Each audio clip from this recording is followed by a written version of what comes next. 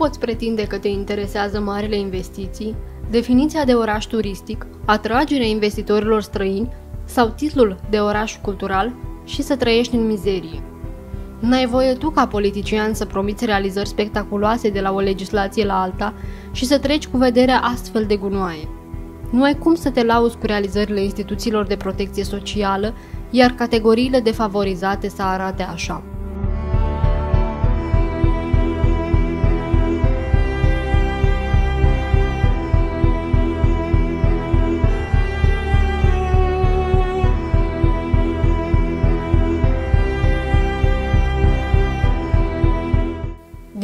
De vedere al aspectului, orașul Piatra Neamț este descris ca fiind un oraș frumos și curat.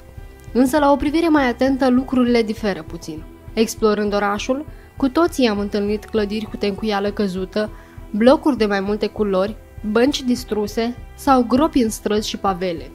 Dacă nemulțumirea față de aceste aspecte nu ține de administrația publică locală, în ceea ce privește promiscuitatea și focarele de infecție din zonele limitrofe ale comunității, Acestea sunt strict atributul organismelor de ordine, a instituțiilor obligate să facă protecție socială și a direcțiilor de sănătate publică. În ceea ce privește strategia de incluziune a persoanelor uh, care aparțin uh, minorității romilor 2015-2020, uh, în toate domeniile de acțiune, autoritatea noastră locală, să știți că desfășoară mm, multiple acțiuni de incluziune a persoanelor defavorizate socioeconomic. Pentru că în asistența socială, uh, pentru prevenirea și combaterea sărăciei și a riscului de excluziune socială se acordă, conform legislației în vigoare, pe perioade determinate de timp și anumite situații punctuale, ajutoare sociale, alocații, indemnizații uh, și diverse facilități. Aceste categorii uh, numită defavorizată din punct de vedere socioeconomic. La nivelul uh, municipiului Piatra Neamț, dacă aș putea să spunem, uh, eu uh, am un respect deosebit pentru persoanele de etnie romă. Mă refer la cei cu care noi venim în contact, cei care ni se adresează nouă și au solicitat diverse beneficii de asistență socială și cu care lucrăm de mulți ani. Pot să vă spun din prisma asta. Am observat o schimbare în atitudinea dumnealor de cel puțin de 10 ani încoace, în sensul că uh, au încercat și uh, încearcă permanent să se integreze, uh, răspund acțiunilor noastre. Uh, o diferență ar fi că nu uh, își reprezintă interesele singuri, uh, nu prin anumite persoane, așa cum era cu ani în urmă. În sensul că aveau anumiți lideri care se adresau instituțiilor și le reprezentau interesele. Ei, acum, uh, dumnealor uh, se adresează direct instituțiilor și știu ce anume să solicite. Se spune deseori că societatea civilă trebuie să sesizeze organismele abilitate asupra neregulilor de tipul celor semnalate mai sus, dar nu este loc de implicare organizațiilor non-guvernamentale în condițiile în care poliția locală nu face față, primăria nu-și poate curăța propriul domeniu public, iar ruinele fostelor întreprinderi nu au fost nici după 10 ani curățate. Toate autoritățile publice pretind că sunt cu ochii pe comunitățile de romi și pe categoriile defavorizate, referindu-se în speță la Speranța și Vălei. Probleme care uh, sunt inventariate periodic la nivelul instituției prefectului, având în vedere că un post de consilier este uh, dedicat uh, pentru comunitatea de romi. Uh, este de notorietate faptul că în ultima perioadă uh, sunt cei care uh, sunt cei mai sensibili și generează foarte multe anti, uh, fapte antisociale și se vede în uh, activitatea și potențialul criminogen al uh, comunităților de romi. Am început o analiză cu biroul județean pentru romi, în primul și în primul rând în localitățile în care ei au o pondere importantă și în ultimele întâlniri am, ne-am întâlnit cu primarii comunilor Borca, Boghicea, Vălevi, Curător Neamț, orașului Piatra Neamț, Uh, anexei Valen din uh, municipiul Piatra Neamț.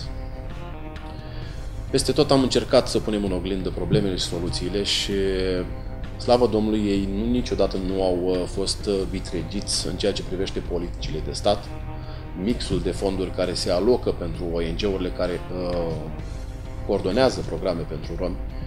Uh, tot timpul Guvernul României, uh, fondurile europene, comunitatea europeană a fost alături de ei. Uh, este important ca acest efort să nu fie niciodată diminuat, să fie tot timpul amplificat, să fie tot timpul luat în seamă și aici mă refer în primul rând la problema comunității și să învățăm din experiența comunității respective și să o extrapolăm la celelalte comunități cu probleme similare. Sper că lucrul ăsta ne iese. Dar dacă întrebi reprezentanții municipalității sau ai unui serviciu public de zona Montana, de strada Nicu Albu sau de fosta întreprindere Pamex, nu primești niciun răspuns. Eu ce pot să vă spun e că de o bună perioadă de timp acolo s-au mulțit cei care creează astăzi o adevărată șatră, așa cum foarte bine a spus, și din câte știu eu, uh, cred că nu sunt luați în evidența nimănui, pentru că acolo uh, sunt probleme sociale uh, grave. Sunt copii care sunt trimiși la cerșit, cu femei, tineri, sunt, sunt căruțe care fac traseul de pe Nicu Albu înspre centru și înapoi de câteva ori pe zi, nu știu cu ce scop și cu ce Uh, aprobări, din câte știu, în Piatra Neamț nu e permisă circulația căruțelor, dar văd că nu face uh, nimeni nimic. În fine, e un, uh, pe lângă problema socială, e, e și problema unui aspect de necivilizație. Sunt niște lucruri care, după mine, nu au ce căuta în, în Piatra Neamț, într-un oraș european. Dacă oamenii ăia stau legal acolo, nu știu, trebuie să verifice ce e în drept, trebuie luați în evidență și să le se asigură o locuință acolo unde uh, uh, poate primăria, dacă nu, atunci, conform legii, în mod normal trebuie uh, trimiși acolo unde au domiciliu. E clar că victimele acestei, acestui fenomen sunt în primul rând copiii, nu merg la școală, probabil, nu stau în condiții care nu sunt deloc potrivite pentru vârsta lor și pe urmă ne mirăm că de ce uh, avem uh, fenomen de abandon școlar sau fenomen infracțional din ce în ce mai mare în, uh, în, nu numai în Piatra Neamț, cred că în toată țara. Sărăcia și excluziunea socială se află pe lista indicatorilor care afectează diferite categorii defavorizate, printre care se numără și comunitățile cetățenilor de etnie romă. Din luna februarie a acestui an, funcționează grupul de lucru mixt pentru romi, care își propune să rezolve problemele cu această categorie socială.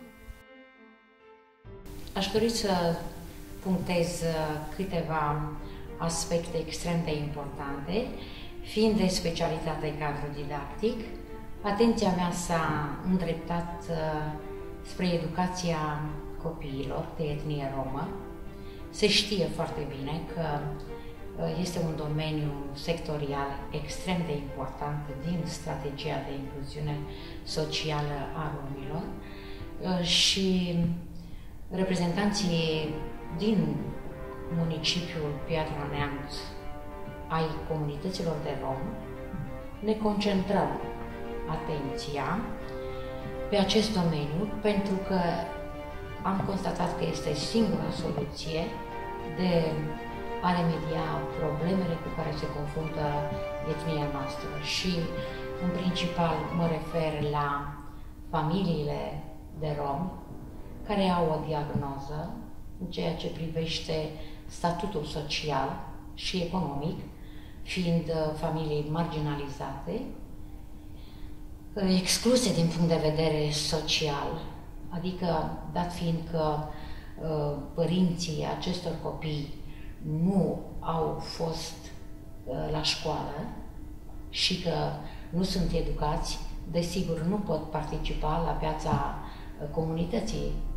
Mă refer, nu pot să ocupe o poziție în viața de zi cu zi. N-ai cum să îți asumi niște responsabilități, responsabilitate într-o comunitate atâta vreme cât nu ești educat. De aceea uh, ne concentrăm pe educația copiilor lor, în așa fel încât să nu mai creăm dependență socială. Este un proiect nou, nu s-a mai făcut un astfel de proiect. că am găsit deschiderea maximă în ceea ce privește uh, departamentul, la departamentul de direcție asistență socială și în bordul uh, de conducere al municipiului Piatra Neamț. Am prezentat problema că vrem să facem remediere școlare și am găsit înțelegere, fapt pentru care în anul 2015-2016 va funcționa acest proiect de remediere școlară pentru un număr de 32 de copii.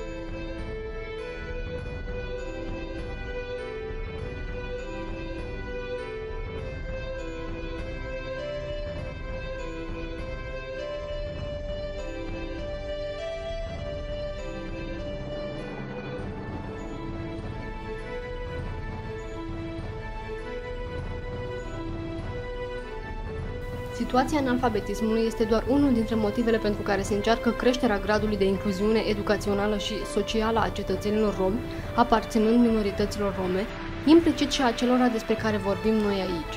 Județul Neamț a înghițit peste 22 de milioane de euro pentru astfel de programe de integrare socială. Dar putem vorbi oare de integrarea socioeconomică a cetățenilor români de etnie romă și în cazul grupului de persoane care locuiesc pe strada Nicu Albu 85? Din punctul de vedere al poliției locale, pentru că vorbim exact strict pe instrumentele pe care le avem din punct de vedere legal și în special legea 155, legea organică a poliției locale, prevede anumite uh, atribuții pe uh, respectarea ordinii și liniștii publice, adică mă refer la uh, acest sector de ordine publică. Uh, de asemenea, ceea ce privește uh, celelalte aspecte privind protecția mediului, și acolo avem atribuții în ceea ce privește curățenia, locuințelor, uh, eu știu, uh, împrejmuirilor, asigurarea acestora și așa mai departe. Deci avem mai multe atribuții, dar punctual să vă răspund la întrebarea noastră, ar trebui, eu știu, să răspundem sau să răspundă ceilalți din asistența socială, cei, ceilalți factori, uh, eu știu, care contribuie la buna desfășurare sau, eu știu, la un trai mai decent a celor defavorizați. Din constatările noastre sunt două puncte, să spunem, uh, sensibile în acest punct de vedere al orașului. Unul ar fi cartierul Văleni, unde sunt uh, localizați majoritatea celor care au și sunt locuințe sociale și au fost atribuite prin contract sau, eu știu, pe folosință.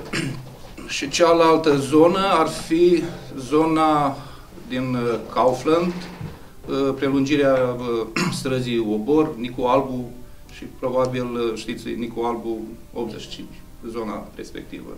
Acolo sunt cele două, să spunem, focare în care, eu știu, poliția are, nu chiar în fiecare zi, sau, dar avem probleme de diferite, de diferită natură, fie pe ordinea și liniștea publică turburare, sau fie pe protecția mediului, sau, eu știu, chiar și pe disciplina în construcție. Pentru că pe Nicu Albu sunt câteva locuințe, acum nu e niciun secret, ați fost dumneavoastră acolo și ați văzut, care sunt pe domeniul public. Și chiar uh, luna trecută sau acum două luni am luat o măsură disciplinară, o măsură uh, de sancționare pe protecția mediului cu privire la construirea unei anexe la o locuință deja existentă de câțiva ani pe acel domeniu. Bineînțeles că este o încălcare am, și încercăm în continuare să monitorizăm zona pentru a stopa acest, uh, să spunem, nu e neapărat fenomen, dar a stopa asemenea activități de construire a eu știu, locuințe sau uh, improvizații pe domeniul public, fără a avea acte de proprietate, fără a avea documente cadastrale, fără a avea autorizații de construcție. De-a lungul timpului, riveranii au făcut reclamații în ceea ce privește situația de pe Nicu Albu, dar cu toate acestea preferă să rămână în continuare în anonimat. Așa am înțeles eu, că sunt veniți din altă parte. Mulți, adunați acolo, sunt foarte mulți. Uh, au fost reclamații în zonă, în general ele vin prin, prin sistemul acesta 112 sunt sesizați cei de la Poliția Națională. Noi avem, pe lângă patrulele noastre proprii, avem și echipaje mixte cu Poliția Națională. Intervenim împreună cu dânsii la asemenea sesizări. Chiar mi-aduc aminte că nu cu multă vreme, în urmă câteva săptămâni, am avut o sesizare cu o persoană chiar din zona Nico Albu, care, eu știu, dânsa a sesizat anumite aspecte, nu s-au confirmat, echipa, nu ne-am dus noi, ne-am dus împreună cu cei de la Națională. Colegii la Națională, atunci când mergem în echipaj mixt, sunt cei care instrumentează tot, toată speța și eventual de dosar uh, penal, de instrumentat dâns și se ocupă. Și știu din uh, informațiile pe care ne-au parvenit că au fost un incident cu, eu știu, distrugerea mai multor uh, geamuri, cu, eu știu, cu o persoană recalcitrantă, știu că s-au întocmit uh, documente pentru infracțiunea de distrugere, tulburarea ordinii și liniștii publice. Deci suntem acolo când suntem sesizați. Poate cea mai gravă problemă o reprezintă uriașa suprafață de teren anunțată ca făcând parte din domeniul public, speculată că ar aparține și unor proprietari anonimi. Contestatarii administrației pietrene afirmă că acea zonă este intenționat lăsată pradă câinilor vagabonți și a gunoaielor pentru a nu atrage atenția nimănui. E păcat pentru că noi plătim impozite ca și alte zone din oraș, nu? Plătim impozite ca fiind într-o zonă centrală a orașului, dar nu prea suntem uh, tratați nici măcar ca uh, cetățeni, între ghilimele, uh, obișnuiți. Cred că e, e, e surprinzător cum instituțiile statului parcă sunt anesteziate în, în fața unor asemenea fenomene, nimeni nu-și asumă răspunderea, uh, toți dau din colț în colț, nimeni nu știe a cui e terenul, ce se întâmplă acolo.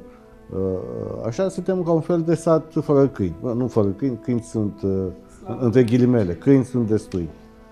Cred că statutul de oraș turistic și de stațiune de interes național ne obligă mai mult pe noi, cei din Piatra Neamț, atunci când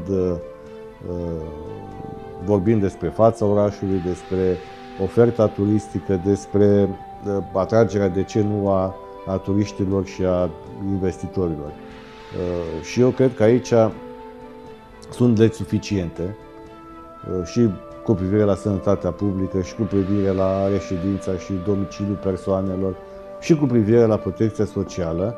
Orașul, chiar dacă nu are o situație financiară strălucită, totuși nu e nici în faliment.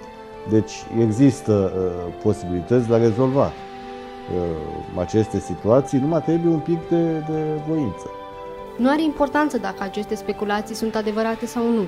Contează că o importantă sursă de venit ar putea deveni amenziile aplicate proprietarilor de ruine din Piatra Neamț. Dar cine sunt acești proprietari de ruine? Sunt firme de lichidatori din București care au în executare terenurile aparținând fostelor întreprinderi Montana și Pamex. Proprietarii, atât a terenului cât și a clădirii, au niște obligații conform hotărârilor de Consiliu Local. Deci nu putem strica imaginea urbanistică a orașului cu proprietari privați care nu își îngrijesc proprietății. Pentru zona Montana am primit foarte multe reclamații. Sunt tot cetățeni de etnie romă care se acioaseră în acea zonă. Întâmplarea este că vin dintr-o comună învecinată cu Piatra Neamț, din Giro, am înțeles. Ei au fost uh, alungați din acea zonă și trimiți și spre uh, zona lor de domiciliu. Totodată s-a luat legătura cu proprietarul, s-au făcut câțiva pași pentru că, dacă vă amintiți, acele clădiri încă erau în picioare și reprezentau un risc de a se prăbuși, mai ales că dacă mai sunt și cercetători care răscolesc pe acolo, cea mai mare parte din ele au fost demolate în acest moment. Deci un prim pas s-a făcut, s-a eliminat acest risc de a se autoprăbuși clădirile. Uh, proprietarii, așa cum spuneam, sunt uh, notificați, obligați să-și îngrijească proprietățile. Există și situații în care proprietarii au uh, dificultăți financiare și nu pot face acest lucru fiind într-o procedură de vânzare a acelei proprietăți, căutând uh, un cumpărător care să realizeze o investiție acolo. Primăria ar putea să le oblige măcar pe acestea să-și salubrizeze zonele aflate în proprietate și cu banii obținuți din amenziile aplicate să execute lucrări de curățenie pe strada Nicu Albu. Presa nu este justițiară, dar nu este greu să dai sugestii când neglijența ajunge atât de flagrantă. Încadrată în același peisaj, albia Cuieștiului este consecința lipsei de implicare, ignoranței și ignorării. Ne pare rău să o spunem, dar aici vorbim tot de factorii administrativi. Poliția comunitară a ajuns un fel de moașă comunală cu un număr redus de angajați și limitată de legislația precară, trebuie să dea socoteală pentru toate posibilele incidente, mai nou și pentru curățarea albiei Puieștiului la început de an sau eu știu când se desprimăvărează sau și pe parcursul anului, pornim pe toată strada Bălțătești, Subdărmănești, e vorba de cei care locuiesc și Riveran cu Puiești. Și acolo sunt persoane de etnie romă, și acolo sunt persoane de o anumită factură. Plecăm în fiecare an cu somații din poartă în poartă și spunem curățați-vă în spatele caselor strângeți-vă gunoiul, vă ajutăm prin Salubritas, prin Bratner, prin celelalte, ceilalți operatori de salubrizare, să facem un pic de ordine. Înțeleg, la începutul anului, împreună cu, au un lider al lor care acționează, să spunem, și îi încurajează să facă acest uh, lucru, strâng, dar după aceea se adună la loc cu noile. Și nu vă ascund că am și luat uh, măsuri de sancționare. Evident că ajungem la aceeași chestiune. Unii dintre ei au, poate au și plătit, nu, nu am o statistică, dar știu că s-au luat măsuri. Asta în virtutea faptului că avem și atribuții pe acest compartiment, pe acest, pe acest sector de, de protecția mediului. Pe lângă disciplina în construcție, protecția mediului, și împreună știu și anul acesta a avut loc o salubrizare, o decormatare a râului Cuiești de către primăria Piatra Neamț. Au curățat uh, albia râului Cuiești în acel sector, în acea zonă. Acum, și vegetația din așa natură, ați observat că imediat crește la loc. Deci o curăță anul ăsta fiind răchită sau, eu știu, alt tip sau alt soi de plante, imediat uh, cresc și ar trebui, practic, la, din lună sau lun, eu știu, la trimestru, măcar curățat acea zonă. Dar, uh, am mai spus, noi monitorizăm zona respectivă și chiar am și sancționat și pe alții care au venit cu căruții și au descărcat acolo toată, tot penicul albu în zona 85 sunt anumite zone unde am depistat și mașini care au venit și au depozitat acolo. Deci la mod acum încarcă gunoiul în saci, indiferent că își face curățenie într-un apartament sau, eu știu, eventual uh,